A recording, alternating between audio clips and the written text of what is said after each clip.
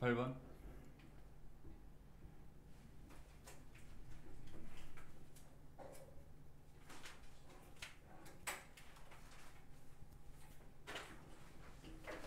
A가 0보다 클 때 양의 실근 서로 다른 양의 실근 가지려면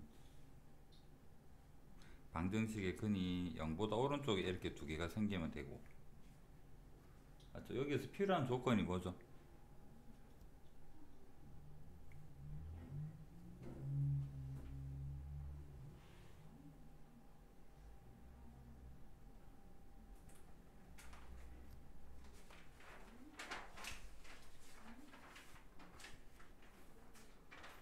함수 값은 뭐를 봐야 되죠?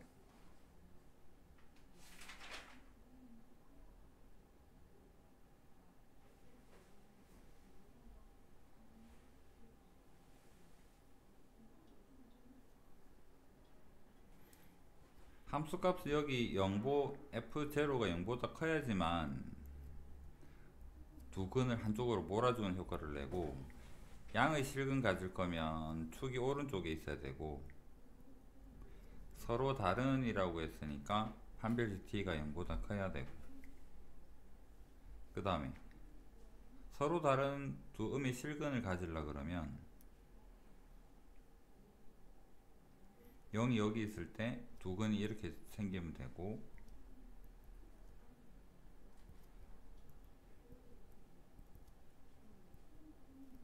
함수가 0보다 커서 한쪽으로 몰아줘야 되는데 축만 다르죠 축이 0보다 작아야 되고 판별식은 서로 다른이니까 0보다 커야 되고.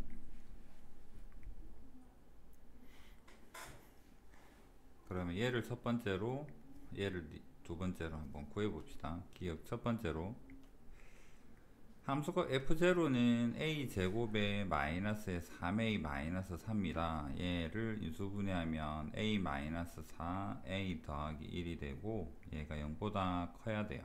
그래서 a가 마이너스 1 4보다 요 범위 내에 있어야 되고 두 번째로 축이 a 마이너스 2니까 마이너스 마이너스 a 플러스 2, 2 마이너스 a네요. 축이 2 마이너스 a인데 2 마이너스 a가 0보다 커야 돼요. 그래서 a는 2보다 작아야 되고 세 번째로 판별식 4분의 t는 a 마이너스 2의 제곱 빼기 a 제곱 마이너스 3a의 마이너스 4가 0보다 커야 돼요. a 제곱 없어지고 마이너스 4a 플러스 3a 하니까 마이너스 a 남고 4 더하기 4에서 플러스 8 되고 그래서 a는 8보다 작아야 되고. 그러면 이 부분에서 공통범위 생각을 해보면 8보다 작고 2보다 작다 면 2보다 작다가 되고 얘랑 얘 공통범위 생각하면 얘가 공통범위겠네. 그래서 1, 2, 3에서 a는 마이너스 1 이걸 만족하는 최대의 정수 large m은 마이너스 2가 되고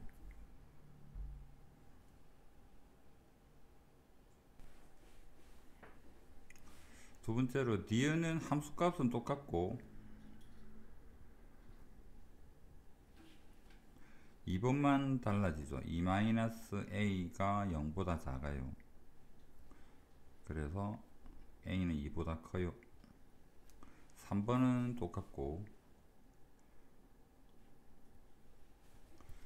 그래서 이거 공통 범위 찾아보면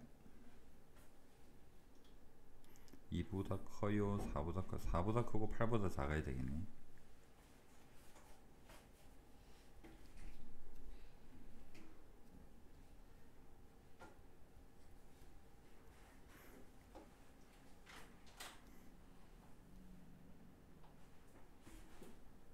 최소값